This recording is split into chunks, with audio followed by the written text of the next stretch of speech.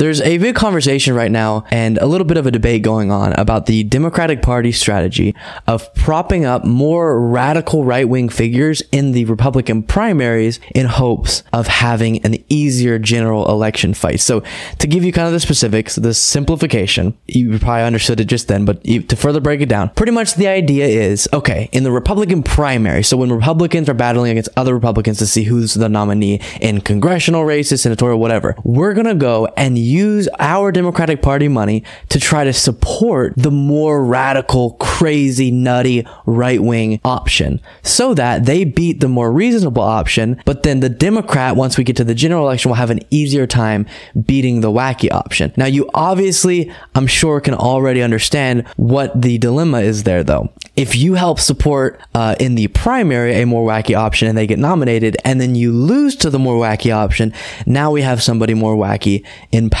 But if it makes your chances better and you win, maybe it was for the best. But you're also using money that you could be using on Democratic races on Republican races to choose a more crazy person who has crazy conspiracy conspiracy theories, etc. So uh, I don't know where you guys land on that it's so difficult for me because it's like, no, don't prop up bad right wing figures. But then if you showed me that it got really good results in the primary or in the general election where Democrats were able to crush all these people, then maybe it's for the best. Uh, maybe it's much harder to run against reasonable people. I don't know. I would really have to see more of the data on it and like see how these uh, races go but obviously you can't do that until they happen. And by that point, you could make a really mis- big mistake and get a bunch of uh, Marjorie Greene Juniors, you know, in, in, in, office because of this. So there's a debate going on, a lot of outrage about it, which I totally understand. It's kind of weird to spend Democratic dollars to get someone who's a conspiracy theorist, election denier as the Republican nominee in hopes of being having an easier time beating them, but obviously risking that they actually win. Um, so with that being said, there's a moment whenever on CNN that we're about to watch where the host asks James Carville about this. And I want to play just because it nicely sums up the strategy, Nancy Pelosi's response to getting asked about the strategy, and then James Carville uh, saying stuff.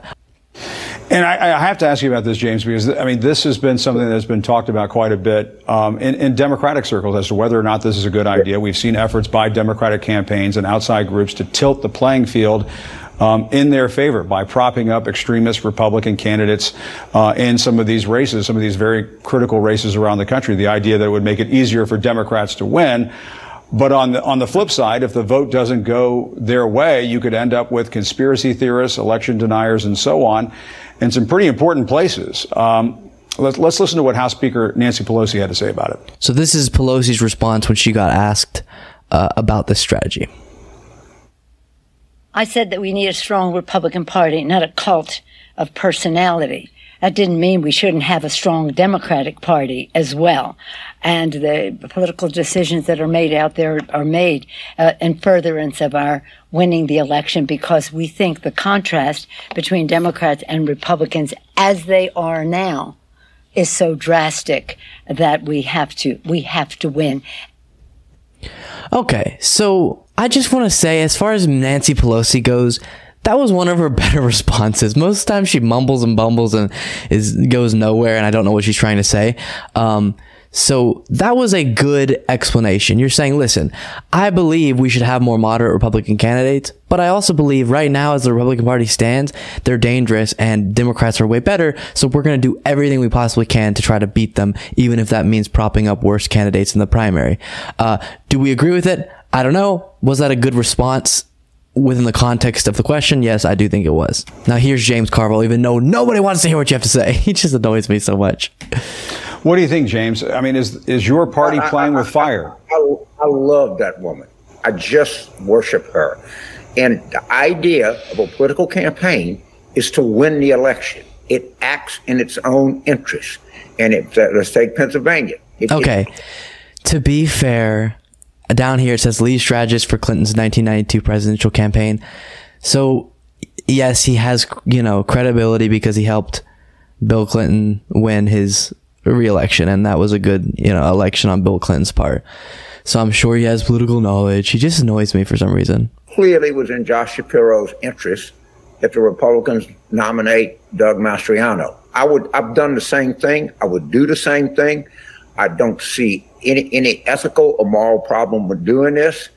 And again, I, I, think most of the opposition to this is from the pontifical class, mostly located on the coast. Okay, so I don't know what that last point was. I, I think, okay, whatever.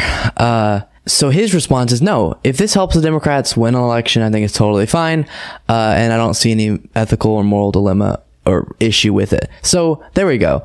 I again recognize what the issue is, what the controversy is about, because you do have a situation where someone really bad could get a uh, end up getting in office in part because of the support of the Democratic Party and the bolstering of them in the primary uh, if they end up going through and winning a general election. And we've now seen, just like how the Democratic Party tried to help Trump, they favored Trump in the primary in 2015 because they thought he would be easier to beat. And then we got Trump as the president. So it's, I guess you could say a high risk, high reward, but a really, really, really high risk. And that's why I think you should probably avoid it unless you have really, really good reason to believe that the person is so wacky, so unhinged that they could never win a general. But I don't think you can ever believe that in our current uh, political landscape. But again, if this helps us get a bunch of Democrats in office, I don't know. This one's hard for me. So please let me know what you think in the comments, and uh, we will see how it goes, I guess, in 2022.